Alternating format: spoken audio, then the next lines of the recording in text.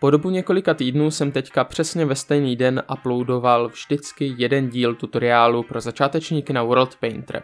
Čaget lidi, já si říkám Darkrai a zdravím vás u pátého a posledního dílu z téhleté minisérie. Tenhle díl popravdě není úplně poslední, je možné, že v budoucnu výjdou ještě další, ale je to poslední díl, který uzavírá tadyhle tu kapitolu naprostých začátků a tutoriálů pro amatéry.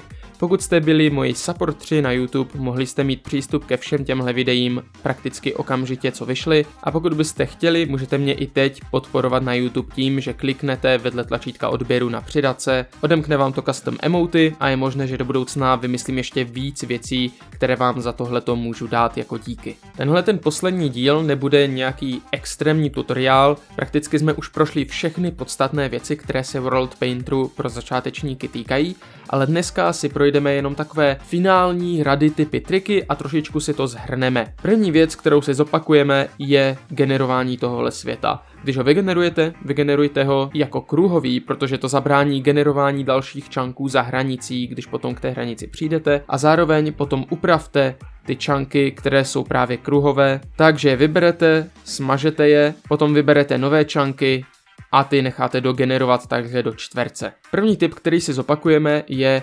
vytváření jakési základní plochy pro váš ostrov, který chcete vytvořit. Ve World Painteru nemusíte teoreticky dělat jenom ostrovy, můžete udělat klidně celou souš, ale pokud chcete dělat ostrov, je dobré, abyste měli jakýsi začátek. Proto si zvolte nějaký plochý brush, který bude mít nějaký zajímavý tvar. Nezapomeňte si upravit intenzitu a velikost toho braše, nastavte si nástroj pro zvedání terénu a můžete si takhle upravit nějaký ten základní prostor, potom zvolte nástroj pro zarovnávání terénu a můžete hezky pokračovat a dělat z toho zajímavý tvar toho vašeho ostrova. Řekněme, že bych z toho tentokrát chtěl takové archipelágo, bude to takové souostroví. To je myslím, že v překladu archipelágo, pokud to říkám správně. Další tip se týká vytváření hor. Vyberte si nějaký brush, který máte ideální na vytváření nějakých krásných pohoří, ideálně tak, aby měl uprostřed nebo někde u kraje nějakou tlustou čáru a po krajích měl takové jemnější čáry, takové jemnější znaky na tom braši. Zmenšete si velikost vašeho braše, nastavte trošku větší intenzitu, vyberte si místo, kde chcete, aby byla ta vaše hora, potom zmáčkněte, držte a postupně, jak se ta hora začne objevovat, tak táhněte nahoru tím brašem, postupně ho zvětšujte, přidávejte a ona se ta hora tak nějak objeví. Nezapomeňte, že ty braše můžete v průběhu i měnit a můžete tím dělat různé další tvary těch pohoří a můžete tím dekorovat i celý ten ostrov. Pokud byste chtěli naopak udělat takový menší, koncentrovanější výčnělek, který bude vyšší než ty ostatní, tak začněte na největší velikosti toho braše a postupně zmenšujte a zmenšujte a snažte se zaměřit to jedno jediné místo. Pokud jste to ještě nezapomněli, tak je dobré hory taky zarovnávat potom zarovnávacím nástrojem, abyste je trošičku rozšířili, urovnali a přidali jim jakousi větší velikost. Takže si zase vyberte nějaký plošší brush. Doporučuji na to používat brush, který se jmenuje Noise, určitě nějaký najdete na internetu. Dokonce jsou dva i v základu, když si nainstalujete World Painter. Snižte si malinko intenzitu a snažte se malinko porovnat některé části. Pokud chcete, můžete horám zároveň udělat takové ocásky nebo takové zvrásněné části tím, že vyberete nějaký užší brush nebo nějaký právě pro ty hory a pokusíte se je potom zarovnávat pomocí tadyhle těch užších brushů. Pokud byste chtěli udělat řeky, vyberte si nějaký brush na řeky ideálně, určitě jich na internetu najdete spousty a nastavte si hlavně omezení pro výšku. Takže nastavím tohleto omezení výšky na nějakých 50, řekněme. Teď už jenom kliknu na místo, kde chci řeku vytvořit a můžu tady udělat takovou krásnou deltu řeky. Pokud byste náhodou chtěli udělat kamenitý útes nebo nějaké kamenité pobřeží, můžete útesy dělat následovně. Vyberte si nějaký hodně ostrý brush a vyberte si zarovnávací nástroj. Potom si omezte výšku, na kterou se chcete zaměřit, na zhruba výšku vašeho moře nebo třeba blok nad tím, takže kolem 60 a 61 to bude pro mě. Teďka už se jenom snažte zarovnat právě ta místa, kde chcete ty vysoké útesy mít. Výsledek vám ale udělá takové nepěkné zuby, takže je potřeba to malinko zarovnat. Proto vypněte zase omezení, vezměte si zarovnávací nástroj a zkuste s nižší intenzitou jet po tom okraji a malinko srovnat právě celý ten okraj a celé ty útesy, které jste si vytvořili. No a pokud se vám bude zdát, že to není pořád ještě dost, můžete tenhle ten postup opakovat, takže já zase můžu zvolit ten zarovnávací nástroj, můžu si zvolit nějakou tu výšku, kterou chci zaměřit a můžu se pokusit jemně tadyhle zase rozhodit ty útesy. Nezapomínejte hlavně, že hory by měly být taky hornaté, proto to mají ve jménu, a pokud byste potom zahlazovali terén, měli byste se snažit, abyste neměli hory až příliš zahlazené. Takže si na to fakt dejte pozor, já teďka budu zahlazovat a budu se snažit, aby to bylo jenom tak jako jemně sem tam, ale aby ty hory byly fakt krásně vidět a aby tam byl takový ten rozdíl v tom povrchu. Nezapomínejte ani na dno moře,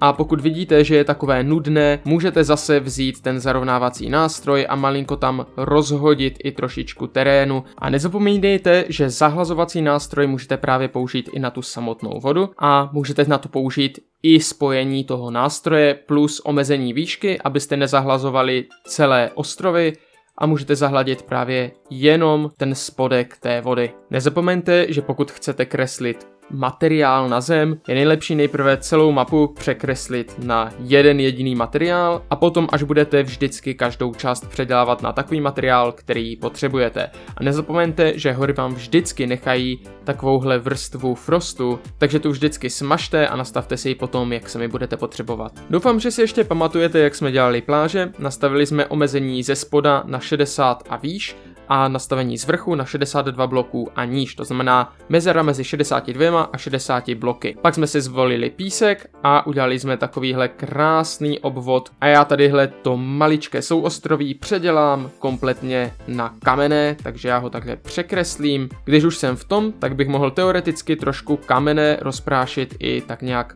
v okolí tadyhle celého toho ostrova. No a nesmím samozřejmě zapomenout na ty moje kamenné skalní útvary, na ty kamenné útesy, takže tam taky přidám nějaký ten kámen. Můžu dokonce zkusit taky přidat tady takové kousky útesů, které budou vyčnívat a budou pod celou tou vodou. No a poslední tip, kterým to dneska zakončíme, který si zopakujeme, je barvení samotných hor. Je dobré vybrat si, že chcete zaměřit výšku třeba od nějakých 140 a výš. Vyberete si nejlépe coarse dirt, který tam budete hezky sprejovat a uděláte takovýhle náčrt toho, jak to celé bude vypadat. Potom si omezení vypněte, malinko si zazumujte, snižte si intenzitu a můžete udělat kompletně takový krásný obvod po celé té vaší hoře. Podobně to děláme i s kamenem, který dáme hned na tu hlínu, zvýšíme si trošku intenzitu a pokusíme se to tady zase poprášit kamenem. No a na závěr vždycky na hory dáváme sníh, takže já to tady celé pokropím ještě k tomu sněhem, hlavně v těch nejvyšších částech, protože tam to dává největší smysl. Můžete taky udělat takové sněžné kopečky, které se svažují dolů tím údolím a tím dodáte takový efekt třeba laviny nebo toho, že tam ten sníh prostě padá a celé to údolí potom může být třeba zasněžené, protože kvůli působení té hory je tam chladnější prostředí. Abychom to potom celé zakončili, tak vždycky vybereme ještě zamrzlou vrstvu a tou pokryjeme a tou pokryjeme celý ten vršek tam, kde jsme ještě nedali právě přímo tu sněžnou vrstvu. Pokud byste chtěli, tohle je tip, který jsem neříkal ve videích, můžete ještě vytvářet umělé prolákliny nebo kaniony. Já jsem ve videích ukázoval, že můžete přidávat přímo vrstvu jeskyní a proláklin, ale vy je můžete vytvářet i sami a ručně. Vyberte si nějaký pěkný braš pěkného tvaru, který bude reprezentovat ten váš kanion a potom ideálně jděte postupně od samotné té hory z nějakého místa a snižujte tam terén. Potom z té vaší díry nezapomeňte ideálně vysušit taky vodu, protože byste asi nechtěli uprostřed kanionu mít někde vodu, leda, že by tam tekla třeba říčka, nebo by si tam naplavovala voda právě z moře. To už nechám na vás. Nakonec to můžete malinko zahladit a pokud byste chtěli nastavit opět takové prudké srázy a prudké stěny do celého toho kanionu, můžete použít omezení na výšku, třeba na nějakých 60 bloků a můžete hezky zvýraznit celý ten přechod mezi stěnami toho kanionu. Tak jo, teď už mě jenom čeká inspekce. Musím říct, že ze všech hor, které jsem měl v téhle sérii, je tahle asi nejvíc povedená. Vidíte tu krásnou sněžnou skalní stěnu? To je úplně neuvěřitelné. Celá se svažuje právě dolů do toho údolí a je tady celý efekt toho sněhu, který prostě spadl. Ale musím říct, že se to povedlo moc pěkně, je tady vidět prostě ten krásný výjezd až k té hoře.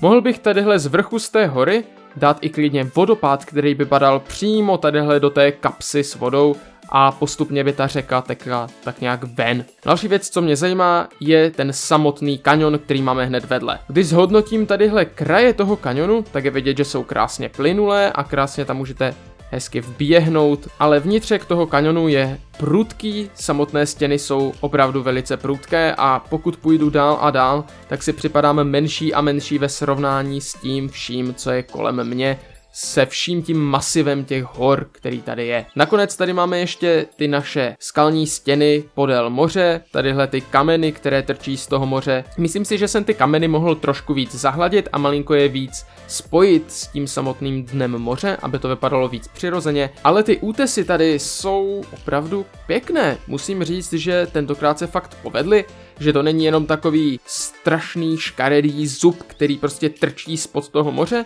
ale že je prostě teďka takový plynulý a s tím dnem moře tak splývá. Takže jako za mě obrovská spokojenost. Takže tentokrát nechám na vás, jestli je to pěkné nebo škaredé, jestli se to povedlo a uvidíme se zase příště. Tohle je konec pátého dílu s těmihle tipy a radami, které jsem buď neřekl nebo řekl a chtěl jsem je zrekapitulovat. Uvidíme se zase příště, zatím se mějte krásně a nazdar. Hands up, then we gonna drop.